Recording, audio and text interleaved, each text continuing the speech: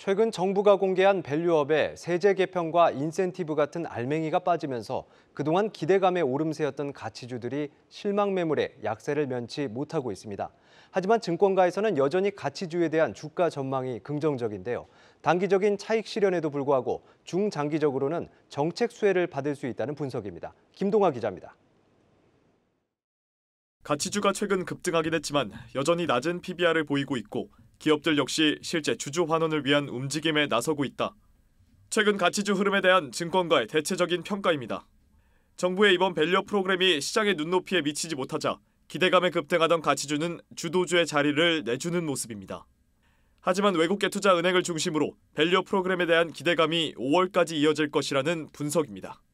한 외국계 증권사 리서치 센터장은 단기 차익을 노리는 헤지펀드에서는 다소 차익 실현의 흐름이 있지만 long only 펀드 흐름은 여전히 밸류업 발표 전후와 크게 다르지 않다며 가치주로의 자금도 꾸준히 유입 중이라고 설명했습니다.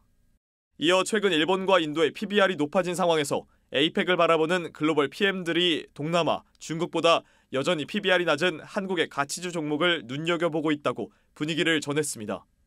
또 다른 외국계 증권사 관계자도 프로그램이 시작된 것만으로도 의미가 있다며 PBR은 낮지만 ROE가 높고 적극적인 주주 환원 정책을 펼치는 기업들을 보고 있다고 밝혔습니다.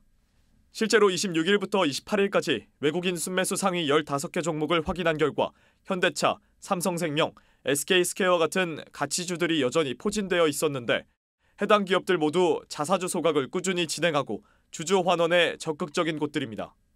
시장은 적극적인 주주 환원 정책과 튼튼한 펀더멘털을 가진 가치주는 이번 밸류 프로그램에 대한 실망과 관계없이 꾸준히 우상향할 거라고 전망합니다.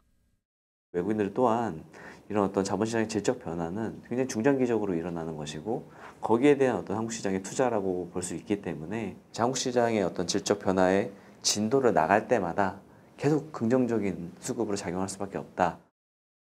한국경제TV 김동아입니다.